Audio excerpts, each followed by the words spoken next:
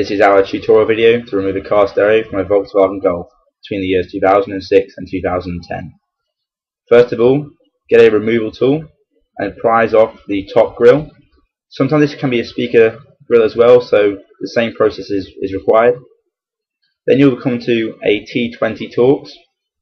There can either be one or two on some vehicles. This car in particular has two, so remove one from either side.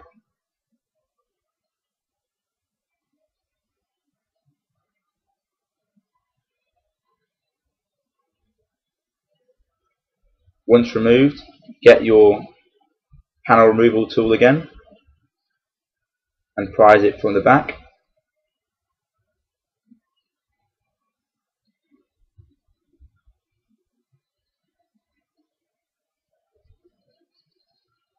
Then use the tool from the front, if needed, to pull out the remaining bit. You have clips facing the front, so be careful with that one. Now, use your removal tool again, and you have four clips in the front panel here. So push those in and prise upwards.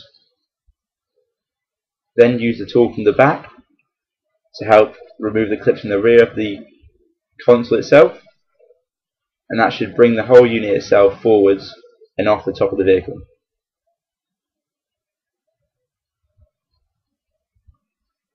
You may need to come back to the front to loosen those clips again. But they're all clips again, so there's no screws involved. Now, this here is the passenger airbag sensor. So only do this when you have the ignition turned off. As soon as you disconnect that with the ignition turned on, it will throw up a passenger air airbag warning. So the hazard switch and the passenger airbag. So what you do is you turn the ignition off, unplug it, disconnect this clip here, which is basically a sensor checking to see if the passenger airbag is working. Now because you've disconnected it, it'll think it's not it's faulty. So remove it from here and plug it back into the passenger airbag switch. Once that's connected, you can then test the new radio as much as you want by turning the ignition on and off. If you basically disconnect it and turn the ignition on, then it will throw up a fault code. So make sure those two things are connected when the ignition is turned on. Now you've got two T20 Torx screws here on either side, top left and top right. Unscrew these.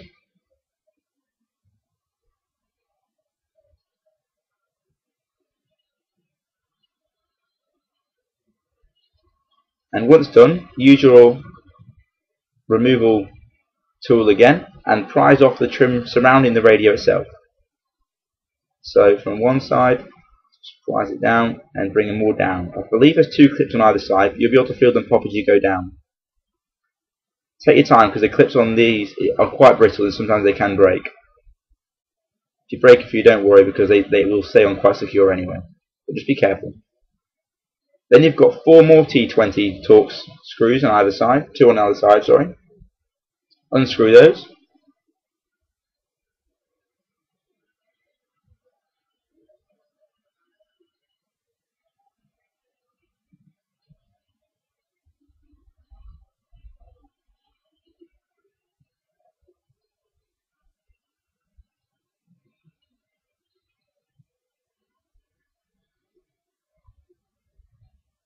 Now if you were to put an aftermarket radio into this location, the face you require will probably have the screw holes as well, so it will bolt in exactly the same way this one is unbolting. Um, so you'd have to get a fascia panel which basically has these four bolt holes um, to bolt the stereo back in place. Um, so as you've removed the last um, T20 Torx here, the radio should literally just slide straight out. So get hands on either side and just pull quite firmly. Uh, then on the rear of the actual unit itself, you'll have um, four clips. This is just a lever, so pull the lever, and you have the radio and maybe steering controls on there as well. They pull out. You might have to um, slide down a little clip to get out of place, but apart from that, once done, that's how you remove the car stereo from a Volkswagen Golf between the age of 2006 and 2000.